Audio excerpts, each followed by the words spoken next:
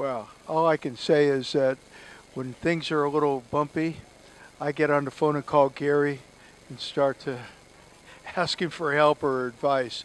And Gary's been there for me ever since this, since the board had been created 11 years ago. And thank God for him. Dennis, that's very kind. And, and this Scouts Foundation, this is 11 years now. It's an extreme success. It never would have happened without Dennis Gilbert. And the, the thing about it is, a bunch of baseball people, Harry Minor, Roland Hemond, and Dave Yoakum were sitting down talking. Dennis was part of the conversation.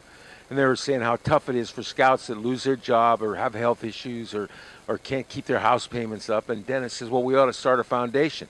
Well, people for, a, for as long as I can remember saying, yeah, we ought to do this and we ought to do that. The difference was that this man made it happen. This guy did what he said he was going to do, and it's been an extreme success. And we've taken people that were going to lose their house in three days, and we got them. We saved their house.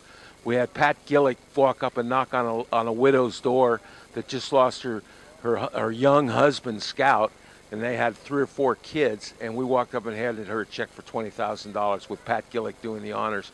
And we, have done so many good things, and it's been it's been a wonderful thing. I'm so proud to be part of it. None of it would have happened without Dennis Gilbert. Actually, all started on the on the back of a napkin.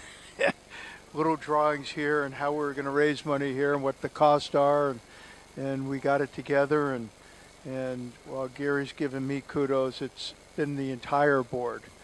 I mean, we've got a great working board. We have everybody from uh, Kevin Towers, general manager of the Diamondbacks, to the people that Gary's been talking about, to the head of the scouting bureau.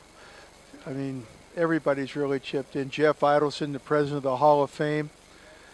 Everybody's chimed in and, and has helped, and we're just happy that it's gone this well.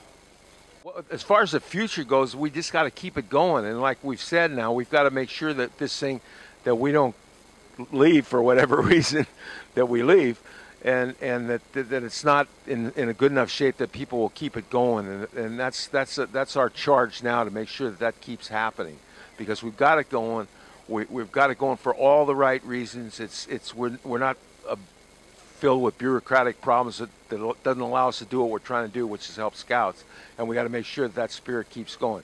It, this banquet is called the spirit of the game. We outgrew where the Golden Globe still happens at the Beverly Hilton Hotel, and we had a we had to move out of there because it wasn't big enough for us. And last night we are sold out again. It was outstanding.